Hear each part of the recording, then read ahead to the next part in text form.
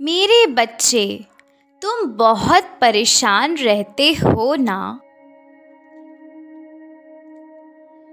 कि लोग तुमसे इतना ज़्यादा गुस्सा क्यों करते हैं? आज तुम्हें एक बात बताना चाहती हूँ कि वो ये है मेरे बच्चे। जो इंसान जितना गुस्सा करते हैं, वो उतने ही प्यार भी करते हैं। और अधिक साफ़ दिल के भी होते हैं।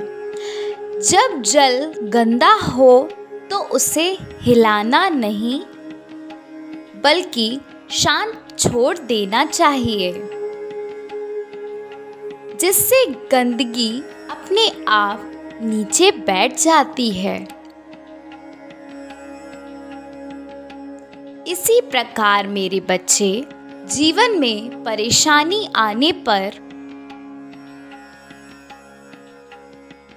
बेचैन होने के बजाय शांत रहकर विचार करें कि आखिर इस मुश्किल का हल क्या होगा? विचार करो मेरे बच्चे, तुम्हें हल अवश्य ही मिलेगा। जो लोग तुम्हारी बुराई करते हैं, करेंगे। चाहे तुम अच्छा करो, या फिर तुम बुरा करो। इसलिए शांत रहकर अपना कार्य करो। निंदा से मत डरो, क्योंकि निंदा उसी की होती है जो ज़िंदा होते हैं।